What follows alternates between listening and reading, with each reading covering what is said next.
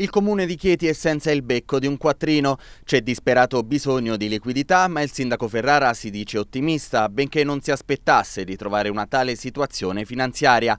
Chieti è indebitata per 47 milioni di euro. A questi si aggiungono circa 9 milioni per i contenziosi attivati, arrivando così a 56 milioni di disavanzo.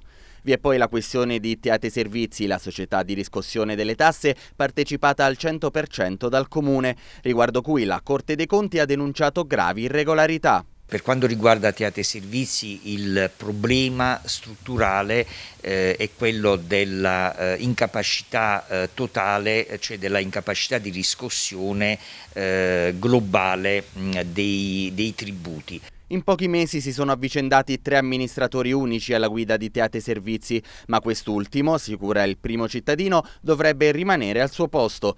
Per far fronte alla crisi finanziaria, Ferrara ha dichiarato che non alzerà le tasse, che sono già al massimo, ma chiederà un rifinanziamento alla Corte dei Conti. Eh, chiederemo eh, alla Corte dei Conti eh, la possibilità eh, di eh, fare un programma di recupero eh, pluriennale, quindi di un predissesto.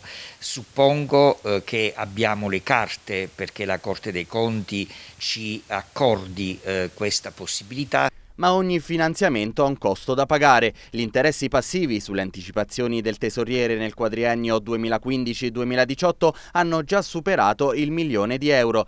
La voragine nei conti e l'eredità del centrodestra, tuona il segretario regionale del PD Michele Fina, ma Ferrara è di altro avviso e non entra in polemica, ma anzi riconosce che quel prestito da 14 milioni e mezzo e il conseguente debito contratto da Di Primio con Cassa Depositi e Prestiti a due giorni dallo scadere del suo mandato era dopo tutto necessario, considerando la mancanza di liquidità. Sicuramente se il mio predecessore l'ha fatto era perché serviva eh, liquidità, eh, è indubbio che è un altro macigno, però ehm, diciamo, evidentemente se l'ha fatto in quel momento, in quel momento eh, serviva.